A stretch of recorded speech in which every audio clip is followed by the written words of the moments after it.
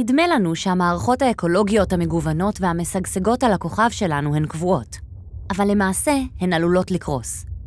ג'ונגלים יכולים להפוך למדבריות, ושוניות יכולות להפוך לסלעים חסרי חיים, אפילו ללא אסונות טבע, כמו התפרצות הרי געש ונפילת אסטרואידים.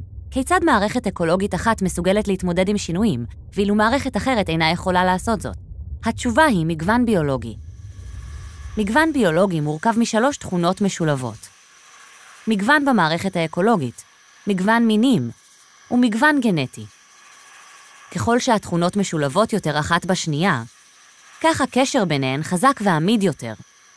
לדוגמה, יער האמזונס הוא אחד האזורים עם המגוון הביולוגי הגדול ביותר בכדור הארץ בשל המערכות האקולוגיות המורכבות שבו, מגוון מינים גדול, והמגוון הגנטי בתוך המינים האלה.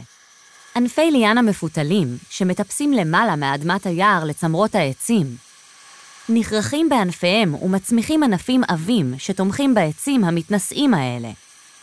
בעזרת הצמח המטפס, העצים מספקים את הזרעים, הפירות והעלים לבעלי חיים אוכלי צמחים כמו הטפיר והאגותי, שמפזרים את הזרעים ביער כך שיוכלו לגדול.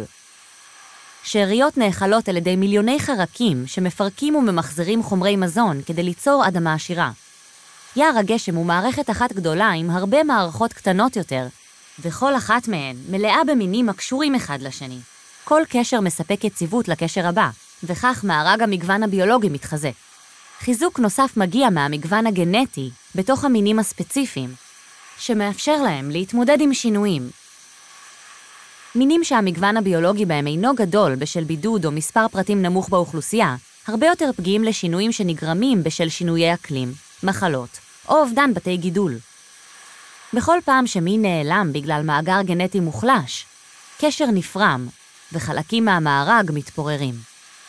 מה היה קורה אם היינו מסירים מין אחד מיער הגשם? האם כל המערכת תתמוטט? כנראה שלא. כמות המינים, המגוון הגנטי שלהם והמורכבות של המערכת האקולוגית יוצרת מגוון ביולוגי עשיר ביער, כך שחוסר במין אחד במארג לא יגרום לו להתפרק. היער יכול להתמודד עם השינוי ולהשתקם ממנו. אבל זה לא נכון בכל מקרה. בסביבות מחיה מסוימות, הוצאת רכיב חשוב אחד בלבד יכולה לערער את כל המערכת. למשל שוניות אלמוגים. הרבה אורגניזמים בשונית תלויים באלמוגים. הם מספקים מיקרו-בתי גידול חשובים, מחסה ואזורי התרבות לאלפי מינים של דגים, סרטנים ורקיחות. אלמוגים יוצרים גם יחסי תלות הדדית עם פטריות וחיידקים.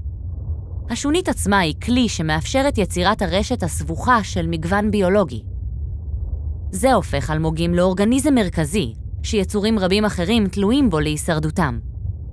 אז מה קורה כששיטות דיג גרסניות, זיהום והחמצת אוקיינוסים מחלישים את האלמוגים, או אפילו הורגים אותם לגמרי? בדיוק מה שאתם חושבים. האובדן של מין מרכזי מערער את הקשר עם שאר היצורים התלויים בו, מה שמאיים על כל מארג השונית.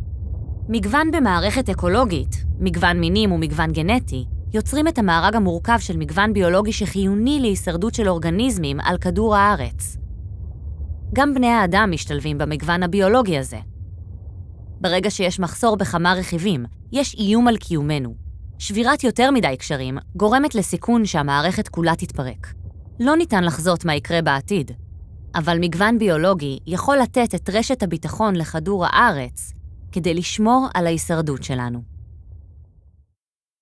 אם למדתם משהו מהסרטון, שתפו אותו עם מישהו. הסקרנות מדבקת.